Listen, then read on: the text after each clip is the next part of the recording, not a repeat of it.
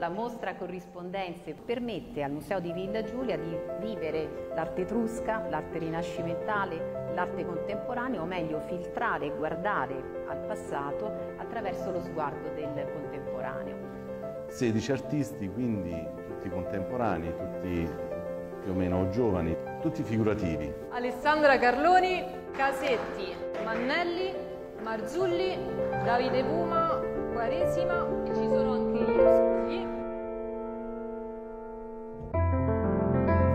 contemporanea non è soltanto l'arte concettuale, ma l'arte contemporanea è anche arte figurativa, arte bella.